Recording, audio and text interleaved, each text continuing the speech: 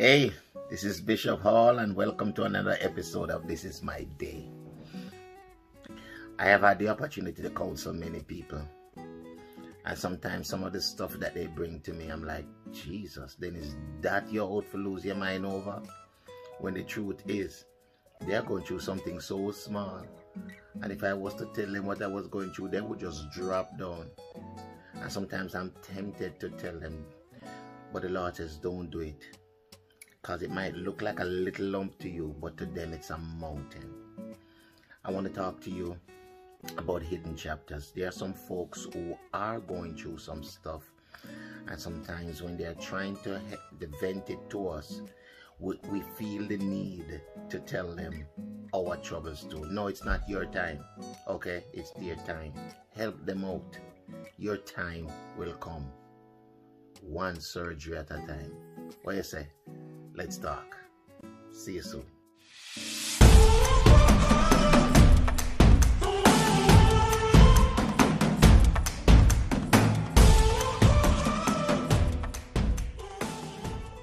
Hey guys, bless you, bless you, bless you. Uh, Bishop Hall here. Wow, this is very deep. It sounds simple, but it's very deep. In counseling, I was, um, you know, when I, when we do what you call it now, the marriage thing that we have um, every year, but we didn't have it last year because of the pandemic. We have um, renewing the, rekindling the fire of love. Woo. And there was one topic that I normally talk about. It has to do mainly with, you know, conversation and all of that because conversation is very important. If you don't converse, love, a relationship where it's like conversation is like the blood flowing through your body. Yeah. And if there's no conversation with a couple, it's just going to be destroyed. You know? So we're teaching them how to talk to each other and all of that. And we were saying that sometimes when one person comes with, like a man would come up and he would start to open up and he would say, you know, I am not happy when you say this. It really hurt me. All right. So he has taken out his heart. He has placed it on the table. Mm-hmm. No, it is now the job of both of them together to try and fix and heal that heart. But that never normally happens. What normally happens? You hurt? Well, me hurt too. Because when you do this and that and that and that and that and that, I hurt too. Yeah. So the uh, so the woman starts saying, Well, I hurt too. And when you do so and so and so and so, I hurt too. So now the situation turn up now. Because the man put him heart on the table. And you take out your heart put on the table too. So now the surgeon gonna have to work on two heart at the same time. No surgeon that good. You understand? So I suggest that you develop the art of actually listening, show empathy, show compassion, show mercy, and deal with just that one thing. And for once in your life, forget about yourself and take care of that person. Or somebody is saying, why are you giving us marriage counseling? No, this is not just with marriage. This is with everybody. No, for real. This is with, if you are supposed to check it out, it's any and all form of communication. All right. Um, it is um, a mother with her child whether it's a son or a daughter. It's the same thing with a father and his child, whether it's be a son or a daughter. It's a conversation between friends, brothers, sisters, church members, even pastor, right?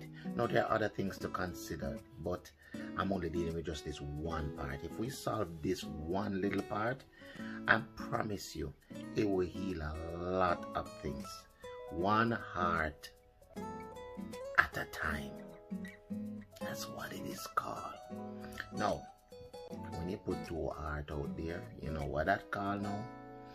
It turn out into be a argument. Big everlasting quarrel and argument because you are hurting and you decide to express yourself. It is not received because them decide to express themselves too. And what it says is that you are not listening to me. Mm-hmm. And everybody wants to be heard. And if you just listen, sometimes I didn't listen, you know, when you listen, you know, I found out that the biggest secret is that I am not smarter than anybody else. It's just while the person is talking, I'm praying. You understand? Yeah, I pray because I can't fix it, but Jesus can. And the Holy Spirit can give me ideas and wisdom as to how to talk to you and what to do to solve the problem. But listening is something that's very difficult to do because it's hard to look at another person's issue without seeing your own. And you'll be tempted to put your own heart on the table to not do it. I know your time, your time soon come.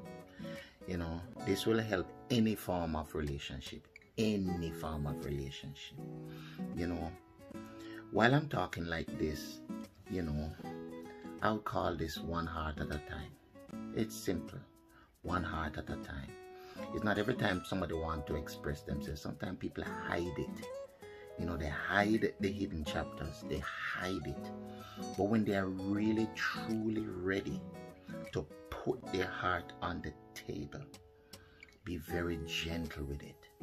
Because heart, think of it, you know, heart is way inside of your chest, protected by the big bone of the middle, the sternum, and then a whole rib cage cover around it, you know. Then they have some other muscles and, and tissues around it to protect it, you know. It is very, very tender. So when somebody finally go in and take it out and rest it before you and I express themselves, whew, gotta be careful.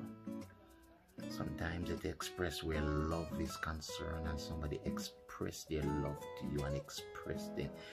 If you can let down somebody, be very tender, be very gentle in letting it, letting them down. You know, one heart at a time. Not true. Yep. Sometimes when I hear the issue of other people, sometimes I want to say, "Hold on." and that you lose your hair over. You want to hear a chapter out of my life, just one, you'd have run. All your teeth, them would have drop out, not just your hair. But I've got the grace. Each person is given grace for the journey that they're on. So them only have a bump on them hand, but they get the grace for that bump. Them not get the grace for your mountain and your mountain that you have, you have received grace. Look at me. A handsome is a shame, like I not nothing, because I've received grace. I've been given grace to deal with difficult people. I have been given grace to carry a church through pandemic. I have given, been given grace to operate with low finances. I have been given the grace to do this. So I can't use me to judge you. You have been given grace to deal with the devil upon your level. Ah, this is a good one.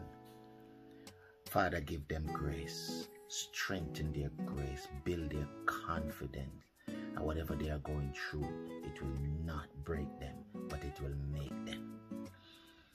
God bless you. It's another episode of This Is My Day. I trust you enjoy these things. Pass it all over the place. And YouTube, if you got this off the YouTube, just press the like button because it helps us. Amen. May God bless you. We'll be talking. See you tomorrow.